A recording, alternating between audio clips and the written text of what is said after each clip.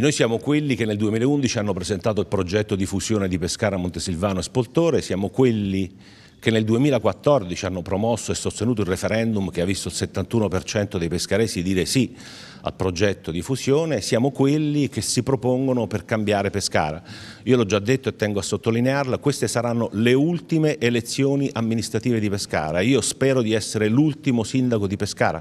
Le prossime elezioni si faranno insieme a Montesilvano e a Spoltore, questo vorrà dire che non ci saranno più tre sindaci ma ce ne sarà uno, non ci saranno più tre giunte ma ce ne sarà una, non ci sarà più un consiglio comunale, non ci saranno più tre consigli comunali ma ce ne sarà uno, ci sarà un taglio massiccio ai costi della politica che svilupperà risparmi per oltre un milione e mezzo di euro l'anno. Insieme a questo ci saranno tutte le premialità dello Stato e della Regione previste a favore dei comuni che si fondono e soprattutto ci sarà una dimensione territoriale che finalmente ci consentirà di progettare lo sviluppo della città. Tanti volti nuovi nelle sue liste e un solo consigliere comunale uscente, Massimiliano Di Pillo.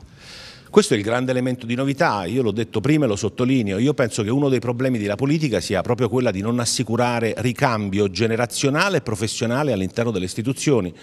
Ci sono molti candidati, un candidato sindaco in particolare che da 27 anni siede nei banchi del Consiglio Comunale. Tutto questo genera inevitabilmente incrostazioni, stanchezza, mancanza di visioni, anche nella campagna elettorale.